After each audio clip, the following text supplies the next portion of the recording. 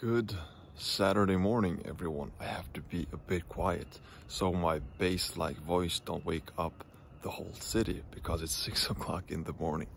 I'm actually on my way to the bus station. I'm heading to Oslo to pick up my new next bike. In this video, of course, I'm going to eventually reveal which bike I ended up buying this time I'm also going to explain my thought process behind purchasing this very bike and also why I want a bike now instead of waiting and buying one during the winter or even at the start of the next riding season. But before we continue, I just want to say thank you very much to everyone who commented and shared their um, yeah, suggestions and thoughts about my situation uh, kind of suggested my next possible bike. I've read all your comments and they've been all very, very helpful. Now I am in need of a cup of coffee, as you might see, because I have barely slept. I am very, very excited. So, thank you. Well, that's the typical Johannes for you. I am 40 minutes early for a bus. People aren't even this early catching a flight. I have a cup of coffee in my hand, I have music in my ears. Now I'm going to lean back and enjoy the ride. Ah, I guess this is how it feels like riding a Goldwing.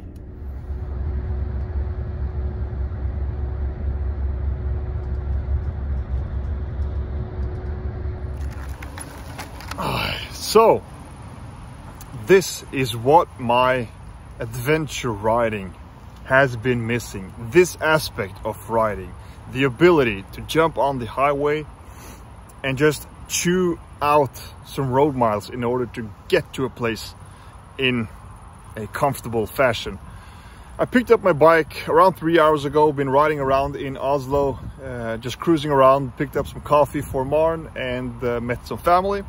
And now I've been riding on the highway home to Kristiansand for around two hours. And, you know, as expected, that's, you know, mainly the reason why I made this switch. But it's nice to kind of confirm that this bike is just much, much more comfortable and smooth on the highway doing highway speeds. Uh, I have a few hours left until I reach home. When I'm back, I will, I will explain and talk a bit about my thought process behind purchasing this very motorcycle.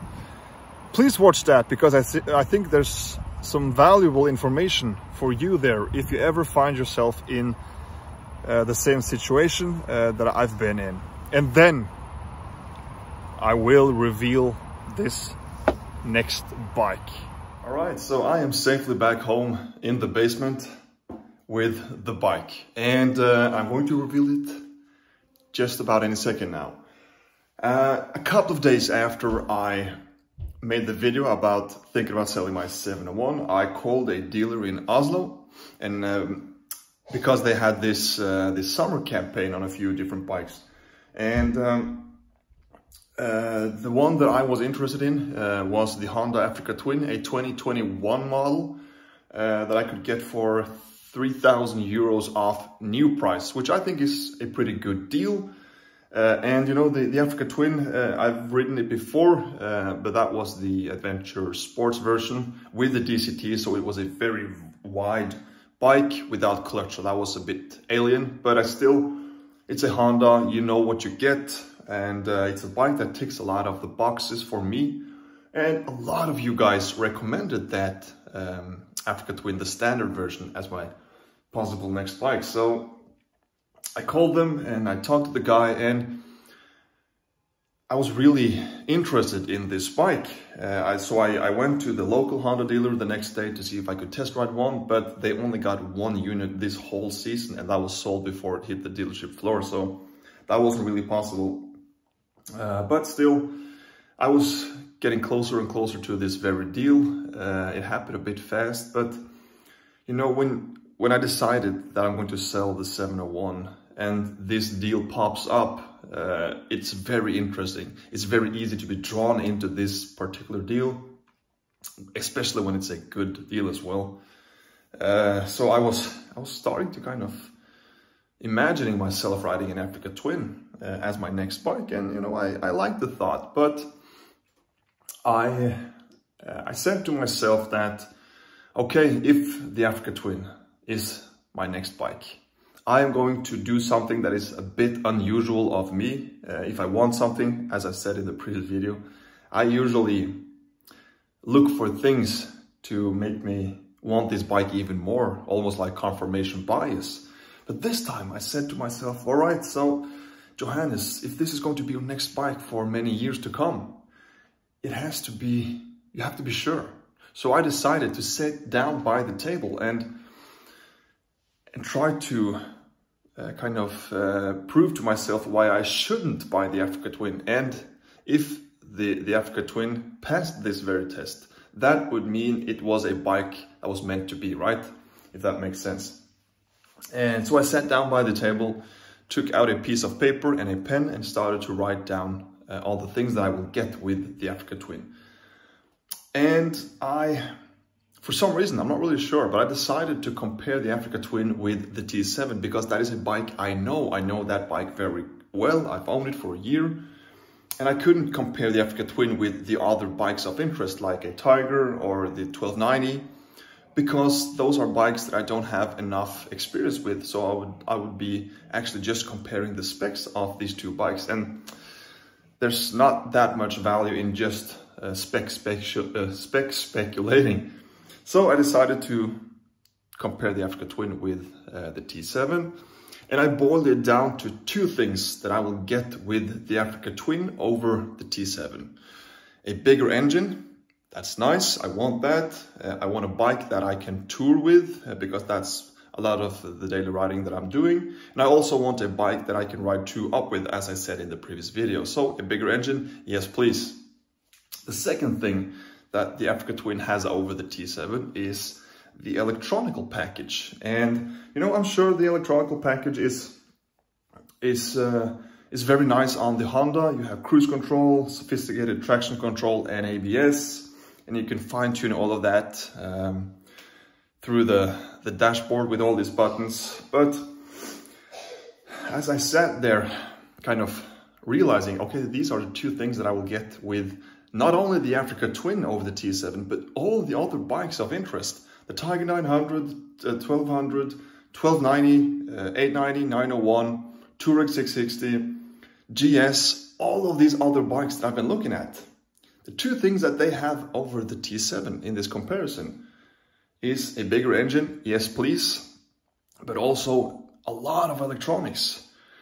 And as I sat there, I started to think, hmm, am I really going to pay eight, 9,000 euros more for a bike just for a slightly bigger engine and all of these electronics.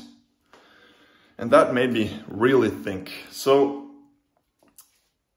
I think uh, me saying this is kind of revealing my next bike. Uh, I am not going to pay that much more money for an electronic package that I personally don't really care about. I I found my 701 to be highly electronically uh, yeah, gifted with the quick shifter and ride modes. Yes, the, the traction control on the 701 was really good, but for the most part, I just didn't use it. So no, I'm not going to spend more money on yeah, electronics. All right, I have come full circle or full circus. That's okay too. I played my cards safe and I bought another Yamaha Tenere 700. It's a bike that I know. I know exactly what I'm getting when I'm buying this bike. In my previous video, I had three main criterias for my next bike. One, it had to be an adventure bike with at least two cylinders. Check. The second criteria that I had, it had to be an adventure bike that is as dirt capable as possible and in my mind, I was thinking about the heavier bikes. As I said, the Africa Twin, the 1290, but there was this one comment from Dominic, a dear friend of mine from Germany, who goes under the name of Spielberg here on YouTube. He said that, be careful now, Johannes, because it's a huge gap between the middleweight bikes and the heavyweight adventure bikes when it comes to dirt capability. In my mind, I thought that once you are above 200 kilograms, it doesn't really matter if it's 20 more or yeah, 30 more. And I haven't really checked that myself, so I don't know, but I trust you guys. And when he said that, I started to think, you know what? I have to be a bit careful because if I buy a very heavy adventure bike that is not very dirt capable, especially with me as a rider, you know, I can I can end up regretting that. And um, so I, I, you know, I started to think, which bike should I go for? And you know, the more I thought about it, the more the T7 made sense because it is a highly capable off-road machine as well. Even though it is a heavy adventure bike, anything over 200 kilograms is heavy in my book. So I think I've met that criteria as well. The third criteria that I had uh, was that I wanted a bike that I could ride with a pillion. And this is where I perhaps uh, missed a little bit.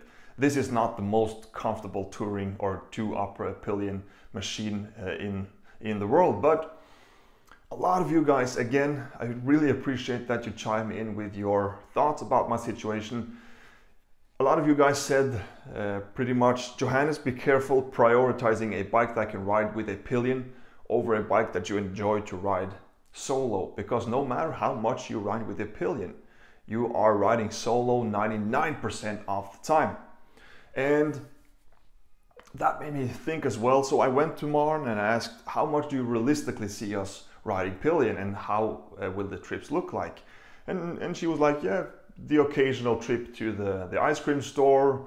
And you know, once or twice a year, we can take a couple of hours and ride to a hotel and check in there. We agreed that there's no super long tours down in Europe with luggage and, um, and camping gear on our bike or my bike in the nearest future. So I kind of realized that, you know, I, I don't need I don't need a GS. I don't need a 1290 Adventure R that is super capable of riding with a passenger on the back because we're not going to do that as much. And while I'm heavy, luckily Marn is not, uh, neither is my, my son who is going to ride with me in a few years when he grows up. I don't have to have uh, a thousand um, cc bike or more. So I think I slightly check that criteria as well. Yeah, and personally, I'm still all about riding off-road. Uh, riding on the highway is just a necessary evil to get to the trails that I want to ride down in Europe or wherever I, I want to go, but I just needed something that was more comfortable on the road getting to those places. So when I first reached the trails, I'm happy that I'm on a 200 kilogram bike instead of a 230. Now, I could talk about this for hours, and I guess a future video um, is is uh, in store. But the reason why I wanted the bike this quickly, I initially wanted to make this into a playlist where I could go test ride all the different bikes that I was interested in. But test riding bikes in Norway is really hard. The dealerships usually, uh, only have one or two bikes um, on the floor uh, and you can't demo those uh, because they will lose money. So you, you have to buy them uh, pretty much uh, before you test ride them. And that's why I wanted to play this safe. I couldn't just call the Triumph and say I wanted a Tiger 900. Uh, this bike I know, and again with all the electronical things, uh, I don't want to spend eight grand more on a bike uh, when I'm perfectly happy with something as simple as this.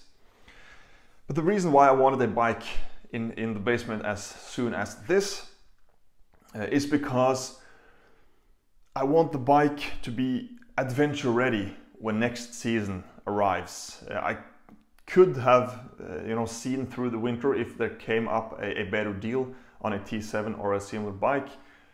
But uh, if I buy a bike during the winter, I have to wait until next season to start to ride it, to break it in, to modify it to my needs, suspension, taller seat, all of these things. I want my bike to be 100% ready as soon as the snow melts here in Norway because I never know what comes next around the corner. Suddenly there's an event down in Europe that looks super interesting that I get an invitation to or a friend of mine says, hey, let's go.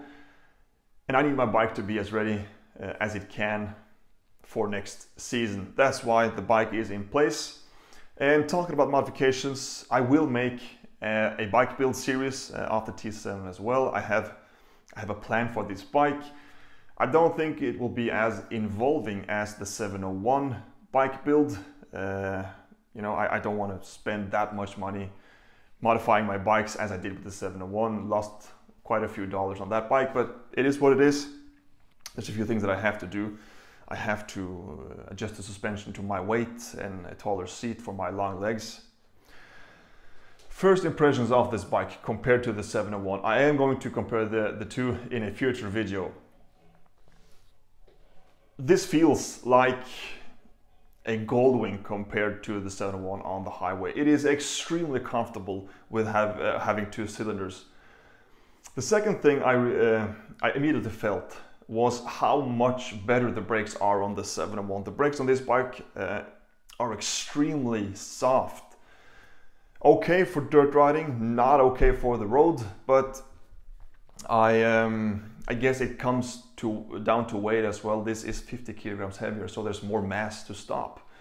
And the third thing is the suspension. How much better the WP XPLOR package on the 701 is compared to, to this bike. This is heavily undersprung for my weight, and that has a lot of a lot to do with it.